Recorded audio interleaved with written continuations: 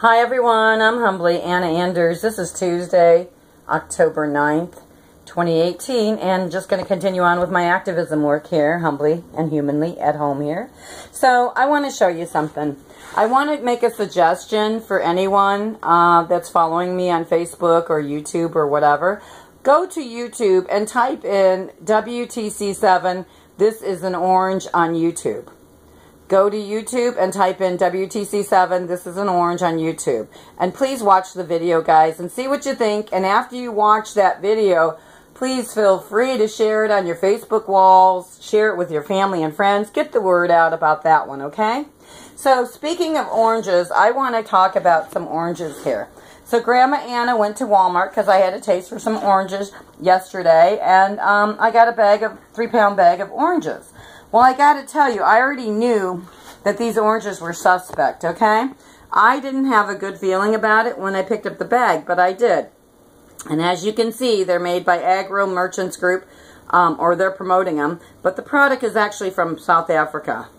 Hi everyone, I'm Anna Anders here on this YouTube channel. We have orange groves here in the United States.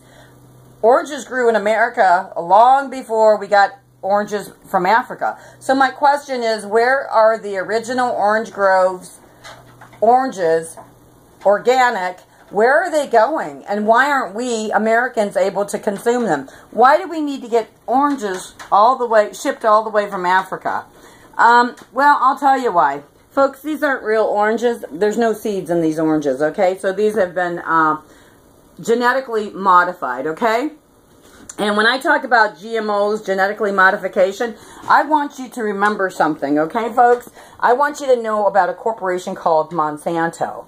Monsanto created Agent Orange, which, which took out all the foliage in Vietnam. And then Monsanto got in big trouble, deep doo-doo, so all of a sudden they merged with Bayer Corporation. And they're still in deep doo-doo because Bayer Corporation's been around for a long time. Um, and I got to tell you, I would not trust any products coming from either corporation, if you will. Not, not today. I wouldn't trust them for myself or my grandchildren or for no one on the planet for that matter.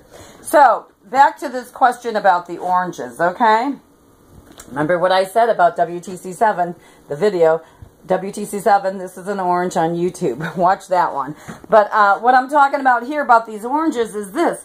You know, we live in the United States of America. We don't need oranges shipped to us from, this orange is from Peru. And I'm going to tell you folks, I've already had some these two oranges. I'm not satisfied. I want the original United States of America oranges for us Americans to have and for other people to have too. I mean, nothing wrong with having farms in Africa and making oranges there, but I know already that these are not legitimate legitimately grown and safe oranges to consume. I can tell you that, folks. They are. This here has a chemical taste to it. Doesn't really taste like an orange. I'm not going to... Uh, matter of fact, these oranges are going back to Walmart, to Wally World. So that's what Grandma Anna's going to do, okay? And then, so I don't get sick and get their ick, Grandma made some uh, beef broth, beef, beef bone broth here. And I'm going to eat some of this today. But also I made it for my mother-in-law because she's a little bit under the weather. And, um, yeah, so we're going to have that. But I want to share something real quick here, guys. I got more information for you, so just take note of it, please. Um, I took note of it this morning for you, and I want to share something. There's a man by the name of Benjamin H. Freedman. He gave a speech. It's on YouTube. Please listen to that speech. Take your time to listen to that speech. Then watch this documentary. It's called From JFK to 9-11, A Rich Man's Trick. When you're done with that, since they're doing food warfare, basically, that's what Monsanto and uh, Bayer Corporation is doing to us. It's getting us sick. Um, what I want you to watch they're also doing weather warfare, okay? So I want you to check out this lady. Her name is Deborah, Deborah Tavares, okay? You can see it right there. She's an activist who talks about the weather warfare. Check out her channel and you're going to learn about 5G, smart meters, and all that unhappy stuff, if you will. I mean, it's good to make progress, but when progress uh, harms human health systems, it's not good progress, okay? So we need to be productive and not destructive to our human lives and human values, okay? So next I want you to check out James Corbett.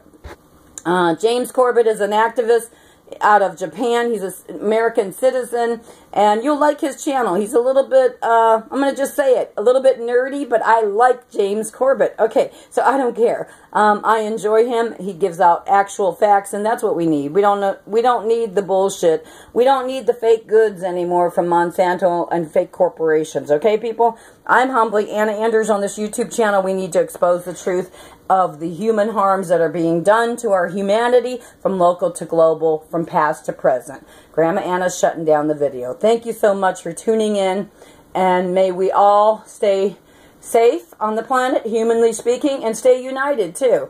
Thank you so much. Have a great day, everybody.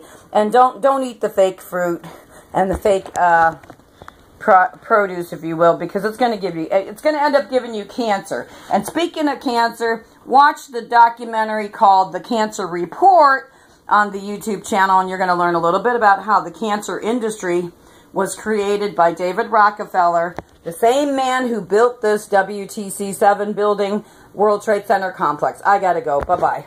Have a great day, everybody.